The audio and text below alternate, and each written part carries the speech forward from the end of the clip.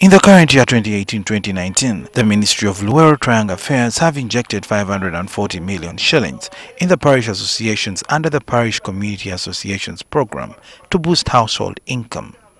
Each of the parishes in the sub-counties of Semuto, Nakaseke and Kapeka have received 30 million shillings to start income-generating projects to be repaid at an interest rate set between 1 to 3 percent payable within a year. However, parish community association members have expressed their dissatisfaction with the rates. Other residents say they plan to invest in agriculture, which suffers adversely due to climate change and unpredictable weather.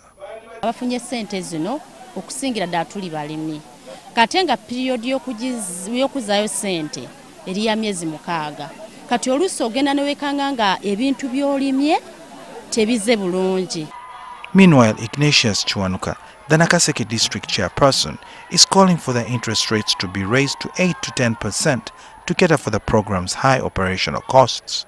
But if we take an interest rate of 1% or 3%, that is too little money, even to run the association itself. When you put money in the bank, there is an interest which is uh, running the statement and the account.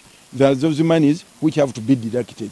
But if you are to put them 1%, you may find that you are only financing that component of the bank. We have realized that there is some parishes which have underrated the percentage. In due course, that percentage is going to affect the day-to-day work of the PCA activities. So I request them to sit again and see that they can give or put a, a clear percentage which can help sustain the program.